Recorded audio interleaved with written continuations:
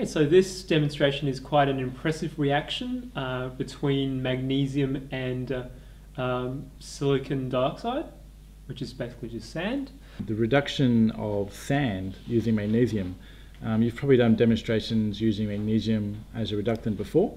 Um, but we found this one really interesting because it was taking silica and getting it to form silicon, which the students perhaps hadn't seen much of. I've got a test tube, it's a Pyrex test tube here, um, and it's been filled with a mixture of sand and magnesium powder. Um, we've set this up in the fume hood.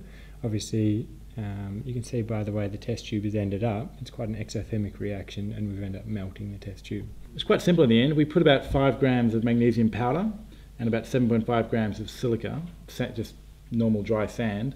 You know, mix it up a bit so it's a good mixture, and then poured it into a, a, a Pyrex tube, a really good quality, really good quality um, glass tube. You would do this all in the fume cupboard.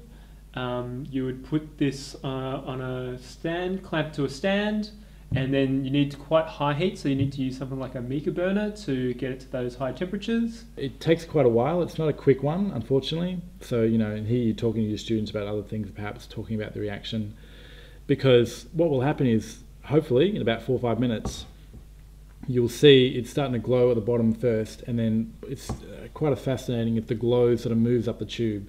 You get a really bright exothermic orange glow as it goes up the tube.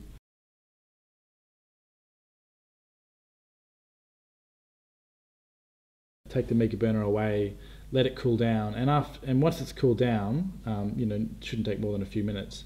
You'll get to see this beautiful looking, um, like a, silvery sort of metallic silicon um, mirror that's formed.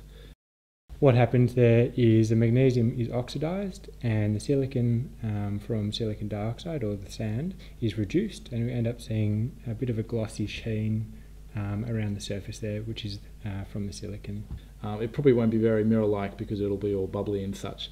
And you can see even this example here, the tube has become quite bent, um, such was the intensity of the, the heat that was, um, was generated from the reaction.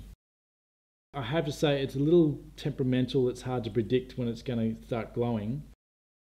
Sometimes what might happen is if it, if it doesn't get heated to a high enough temperature, you might want to light some pieces of magnesium and throw that in a in the top of it, and hopefully that can again generate some heat and get the reaction started from the top. I'll wait, wait. No need for magnesium.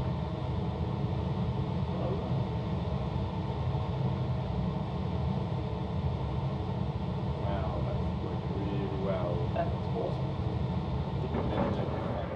So temperamental, but if you get it right, it looks a great little result.